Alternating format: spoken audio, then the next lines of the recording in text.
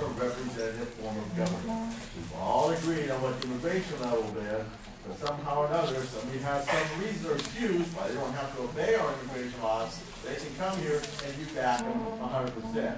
Yet when it comes to your own sovereignty, boy, you should protect the sovereignty of this microphone. I got three minutes, period. And it doesn't matter what my excuse is. I can say the system's broken. What I have to say is so important, it takes more than three minutes. You're gonna cut me off. You then will have to speak at this ICE agent and come report me from this microphone when I violate the sovereignty of this microphone. Absolute hypocrisy. So for now, but, because I'm gonna agree with your sovereignty laws, I got two minutes to be legally behind this microphone. And I'm gonna join every one of us, a legal citizen behind this microphone, going to your sovereignty laws. And you worry about couches being dumped in alleyways. Why? A couch has the legal right to be in an alleyway and then document a couch. It should not have representation of the city council. Absolutely. And what the illegal alien? Is it dumping in the alley? Is that actually illegal? I mean, come on. Or if you want to get rid of them, but the illegal alien out on the curb, they're trash day. Now what? I mean, this is pure insanity. But I'm enjoying myself because I'm here legally right now.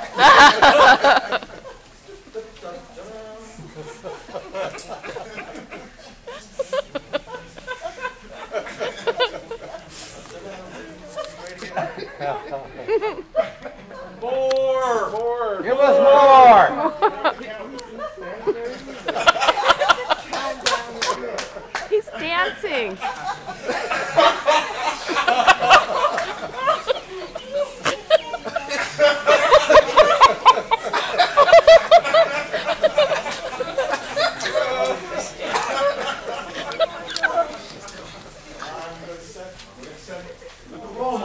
Model for every legal alien. Very good.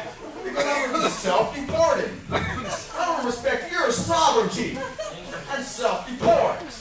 Oh my goodness. Hypocrisy. Whoa. Stepping in it now. Whew. So I'll get all the way down here.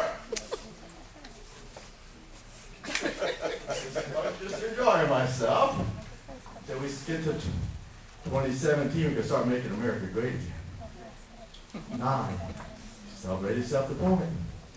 Five, four, three, two, one.